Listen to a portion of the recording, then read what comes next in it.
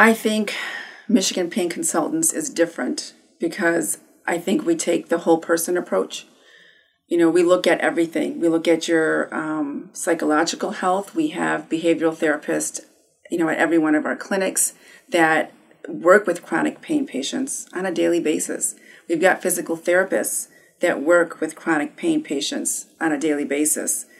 Um, we have the patient health assessment questionnaires, which tell us more about you despite what we talk about. So there's we have the in-depth view on what's really going on in your life. How functionally impaired are you, you know, emotionally or physically that we may not go into discussing your pain, but I can look go back on the chart and see, you know, how this is all affecting your life.